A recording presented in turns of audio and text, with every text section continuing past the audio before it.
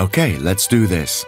Today I'm going to teach you something about supply chain management and quick response. Supply chains are networks of firms that together transform raw materials into finished products on retail shelves. Modern supply chains may span many companies and continents and can therefore be long and slow. At the same time, modern markets are getting faster and faster.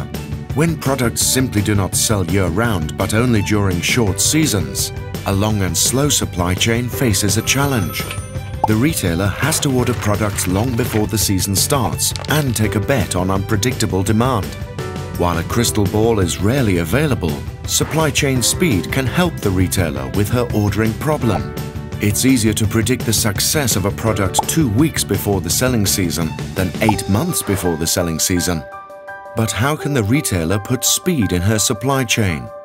She could buy from producers who assemble the products faster, use fast transportation, use local suppliers, and replenish retail stores multiple times a week to react to the latest trends.